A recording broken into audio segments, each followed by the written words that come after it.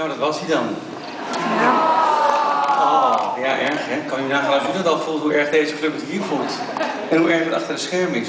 Voordat ik eh, een paar woordjes, en ik hou het kort, hoor, wil, eh, tot u wil spreken, maar met name tot de club hier achter mij, zou ik ontzettend graag willen dat alle mensen van achter de schermen nou eens op het toneel zouden willen. Iedereen van achter de schermen op het toneel in de spotlight.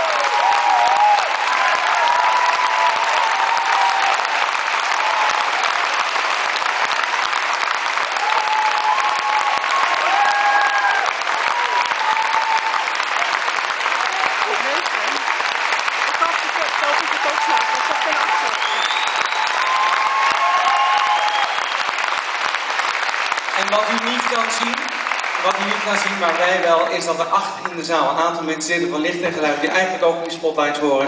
En het geweldige orkest, die luisteren en kijken mee, die zien wij wel. die zijn we.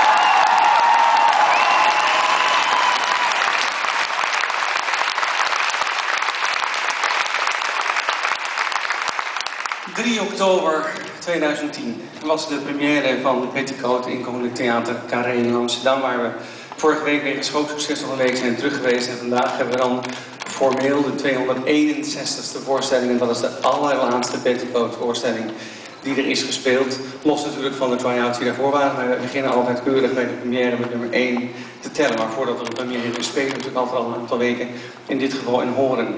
Ik kan me nog ontzettend goed herinneren de allereerste keer dat we interne lezing hadden met een klein clubje. Met André Breedland die het script heeft geschreven. Met Maurice Wijnen die daaraan meegewerkt heeft als co-scriptman.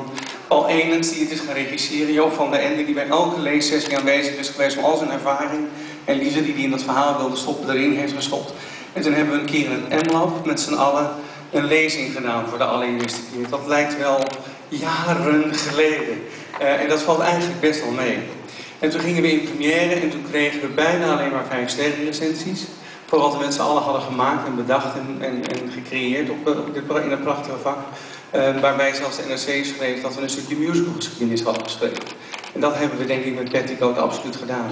Het is namelijk een voorstelling, dames en heren, die niet bestond. De personages die u vanavond uh, heeft gezien, vanmiddag heeft gezien en die we bijna een jaar lang in Nederland tentoon hebben gespreid, bestonden niet. Maar zijn vlees en bloed geworden dankzij een ieder van jullie. Of je nou voor of achter de schermen werkt, of je nou een grote of een kleine rol had.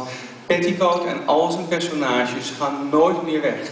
Want jullie hebben ze echt gemaakt. En mensen van vlees en bloed gemaakt. En dat is het bijzondere wat theater kan doen. Een verhaal wat een stuk van Nederlandse geschiedenis vertelt. En we hebben dat een aantal jaren geleden met Theo van Nederland Theater met Siske gedaan. Nu met Petticoat, we zijn met een aantal nieuwe producten bezig. Die eraan zitten te komen, producties. Maar Petticoat heeft toch een heel bijzonder plekje in ons hart. Nogmaals, omdat het er niet was. We wisten niet hoe het moest eindigen. We wisten niet hoe het met alle personages moest eindigen. Maar uiteindelijk is het dit dan geworden. Met een fantastische ploeg van mensen. Die avond aan avond met uh, onvoorstelbare liefde voor deze voorstelling. Maar ook met groot respect voor elkaar. Elke keer weer Petticoat hebben gespeeld zoals het gespeeld moet worden. En dat verdient een overdoverend applaus.